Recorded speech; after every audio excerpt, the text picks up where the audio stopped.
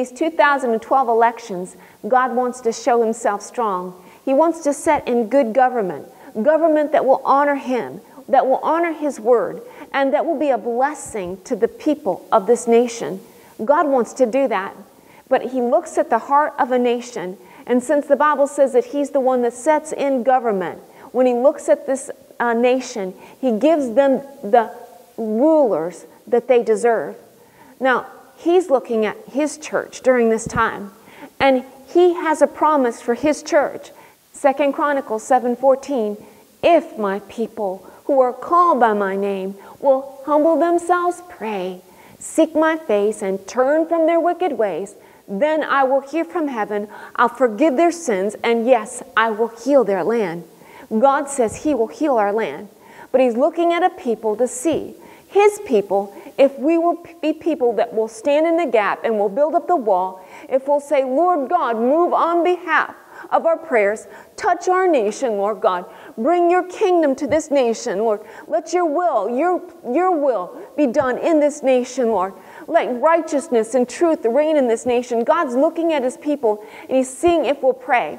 One of the things we've been doing is repenting on behalf of our nation. Just like in Nehemiah, where Nehemiah repented of his sins and the sins of his nation, just like Daniel, where he repented of his sins and the sins of his nation, just like Abraham, where he stood in the gap before Sodom and Gomorrah and he said, Oh God, please spare that city. If there's 50 righteous, if there's 40, if there's 30, if there's 20, if there's 10.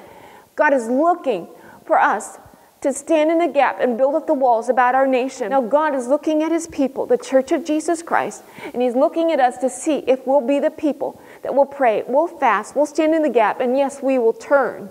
Turn from every evil way. Yes, it does matter how we live. We are not a people that are to be politically correct. We are a people that are to be correct before God. We are to walk in holiness and honor our God.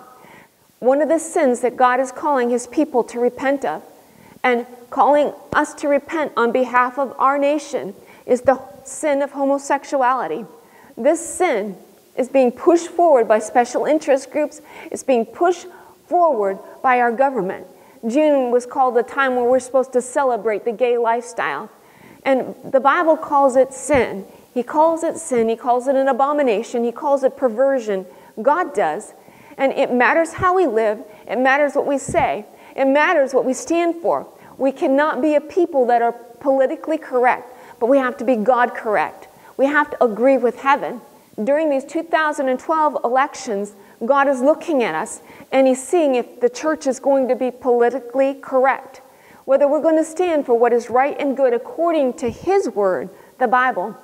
And He's looking at us to see if we'll pray and we'll stand in the gap and we'll cry out to heaven, asking Him to forgive this nation for this sin and that will vote for men and women that will stand against same sex marriage, that will stand against perversion, that will stand against pornography, that will stand for what is right and good in God's sight. Let's pray. Father, in the name of Jesus, Lord, I'm asking for the United States of America, Lord God. I'm asking that you forgive us, Lord God, for our sins, Lord Jesus. Forgive this nation for the sin of homosexuality, Lord Jesus. Please forgive us, Lord, for every way, Lord God, we've been immoral, Lord God.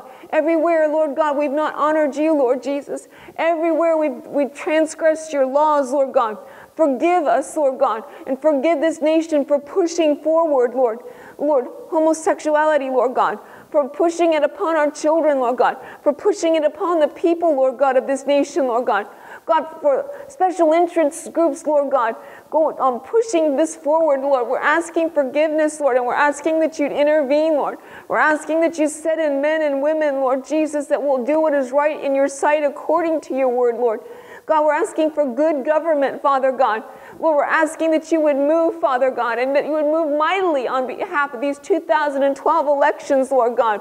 That you would set in men and women, Lord Jesus, that will stand for what is right and good, Lord, that will call evil evil and good good. In the name of Jesus, I pray.